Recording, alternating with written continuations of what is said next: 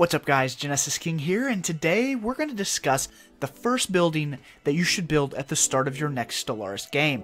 If you're new to the channel and you're looking for more Stellaris tips, tricks, and videos, Stellaris playthroughs, as well as other sci-fi related content, hit that subscribe button and the little bell icon so you don't miss a thing.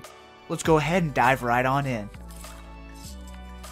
So, first things first, I would advise your first planetary investment should be to build a district. Generally speaking, I would say that this should be a generator district, as energy is usually the first resource that starts to be used up and becomes scarce. Once that's completed, I usually go with one of three options, depending on my playstyle I'm going with and the goals of my playthrough. Those buildings are the Alloy Foundry, Unity Building, or Research Lab. Let's take a look at each of these options individually, starting with the Alloy Foundry. Alloy Foundries will give you plus 6 alloys per month, which is a nice early boost to your alloy production. I'd advise going this route if you're looking to play wide and expand rapidly, or if you're planning on starting an early war. Having the alloy production to replenish your ships should give you an advantage in this early war and will also allow you to spam outposts, assuming of course you have the influence. The second option is building a level 1 Unity building. The base Unity building will produce 6 Unity once fully staffed per month.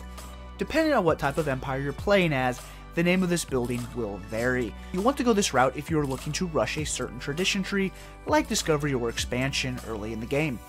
Getting through your tradition trees quickly can give you an advantage over your neighbors and allow you to snowball that much quicker. In addition, Unity buildings produce 6 society research per month, so you aren't completely abandoning research early in the game. Speaking of research, the third option is building a research lab. The research lab will give you a boost of plus 8 society, physics, and engineering research once fully staffed. If you're planning on playing tall, this is the route that you're going to want to go. If you go with the research lab, you have a tech advantage over most of all your neighbors in the early game. In my experience, if this is the route you choose, you can almost guarantee that you'll be superior tech-wise compared to your neighbors for at least the 50 to 100 years of gameplay, depending on who your neighbors are and how you advance your empire after that point.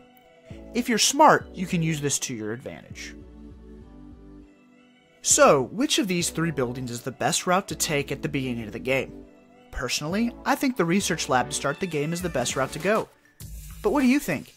Which of these buildings do you usually go with as your first building? Or is what you start with even on this list? Let me know down in the comments below.